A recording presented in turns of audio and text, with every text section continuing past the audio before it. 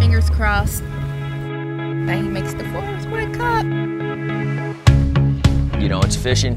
Anything can happen. I'm gonna give it all I got and, and leave it all on the water.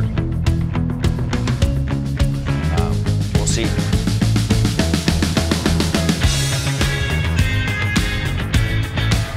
I want it bad, man.